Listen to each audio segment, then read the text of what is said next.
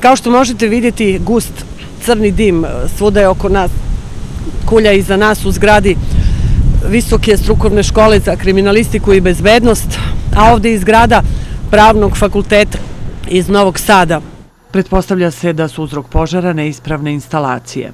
U ovom trenutku mogu da kažem da je zahvaćeno dva, dva magacina, da je preko 3000 kvadrata površine u ovom objektu zahvaćeno požarom, 27 pripadnika vatrogasno-spasilačke brigade sa devet vozila, dobili smo i pomoć dva vozila i tri vatrogasca sa aerodroma Konstantin Veliki i naravno javno preduzeće Medijana sa svojim vozilom zbog količine vode koja nam je bila potrebna za gašenje ovog požara.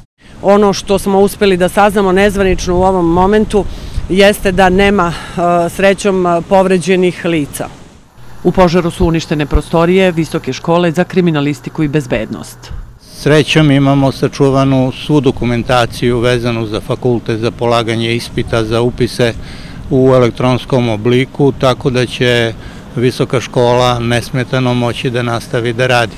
Ovo je velika nesreća za nas, ali ćemo već u toku narednog dana obavestiti studente o privremenom odlaganju nastave. Požar je lokalizovan, a nakon istrage biće utvrđeno šta je uzrok požara u kome je stradalo nekoliko objekata na prostoru elektronske industrije.